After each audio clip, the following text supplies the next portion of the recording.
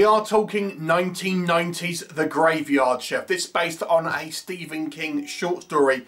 For context, I have not read the Stephen King story.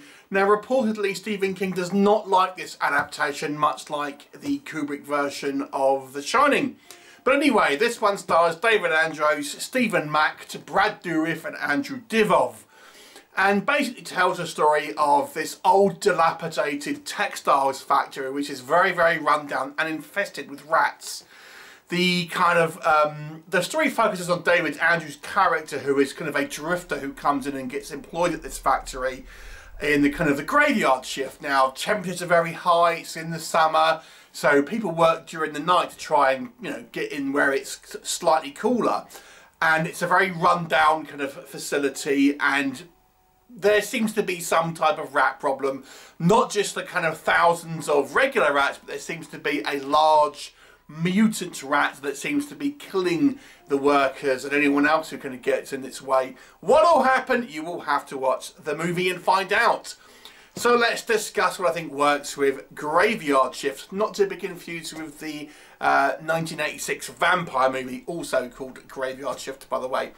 So the thing I like best about this movie, there's two things that really stood out to me. One, Brad Dourif in this movie. He gives another expert monologue like he did, maybe not quite as good as The Exorcist 3, but a pretty good uh, monologue about his experience in Vietnam dealing with the VC and, and rats.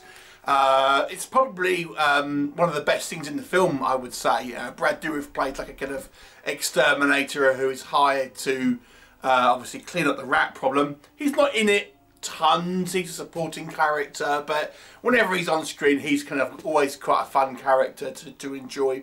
And there's also, uh, the, the, the standout for me is the kind of the set decoration here.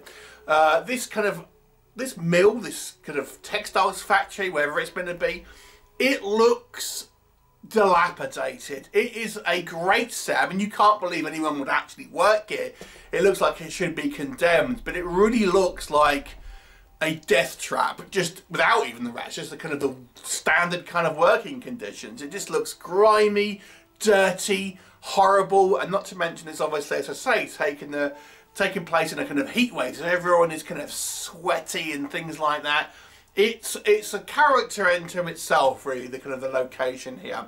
Now we do see a practical kind of monster uh, towards the end of the movie. We begin to get glimpses here and there um, um, before that and you know, it's kind of like a bit of a rubbery kind of, uh, you know, practical effect, but, you know, it's a 1990 film. It kind of looks more like a bat because it has these kind of wings, and it, it reminds me a little bit, in, in a way, of the Winged Devourers from Beastmaster, the way it kind of encompasses its victims and things, but I of still quite liked it, actually. It looked pretty threatening, uh, to be honest with you, and like I said, having it in this kind of uh, um, dilapidated factory in its lair uh, which is kind of underneath its graveyard.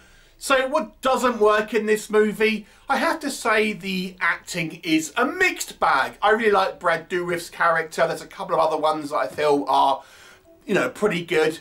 But uh, David Andrews as our main character isn't necessarily bad, but he's just very, very bland. It's partly down to the way his character is written. He has no defining character traits really outside of being a kind of man of the people and everything, but he seems quite kind of like generic, to be honest.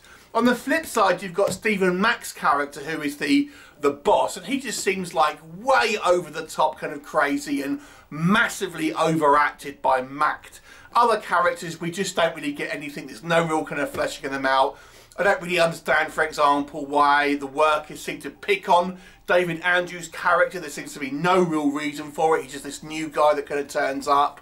And there's a few kind of things that happen that just seem a little bit kind of silly. Like they're in a diner and one of the workers just happens to have a dead rat on him and puts it on his plate and things like this. It's just like, what? What's going on here? The movie also is a little bit meandering. I, I feel the story's a little bit kind of stretched out here. A bit, it obviously based on a kind of a short story.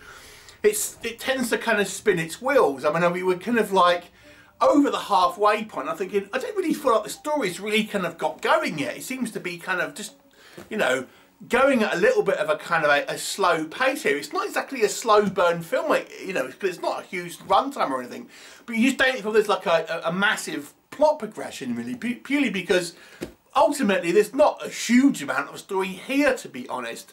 There are a couple of like sillier decisions that are kind of made by the kind of the filmmakers as the kind of the film goes on. Um, things that don't quite really make sense. The kind of the, um, I mean, you, it, the film's quite dark. It's, the cinematography is a little dark at times. You, you might forgive that because obviously it's when they've been taking place during the night and we kind of need to see what's kind of going on at times. But you know, it's a little hard to see what's going on. Where the way they shoot the creature as well, we generally only of see parts of it at any one time, so it's difficult to quite see what's kind of going on. Sometimes the frame's are a little kind of off here and there. Um, it's also be a little bit of a shallow film. It's not a bad, you know, creature feature if you just want kind of like gooey effects, and it is quite gory at times and there's one bit where a guy gets his arm ripped off and then we just see like meat chunks fly all over the place and it's that's pretty good. Uh, but ultimately it's it's a very kind of sparse movie in regards to plot. Some of the character kind of like motivations and kind of like uh, the just the, the, way they act just seem illogical and kind of undeveloped. So overall it's kind of an okay kind of time waster really, but it doesn't really feel like it's got a huge amount of meat on the bones. So, you know, it ends up being okay, which is what I'll give it a 5 out of 10. It's an average kind of creature feature movie that I think was straight to kind of, uh, you know, video in the in the kind of 1990 when this came out. But it's nothing um, outstanding. Maybe it's not as as terrible as Stephen King makes out, but it's it's certainly uh, not one of the more memorable uh, uh King adaptations. Have you seen it? What do you think of it? Leave me a comment and I'll look forward to seeing you next time.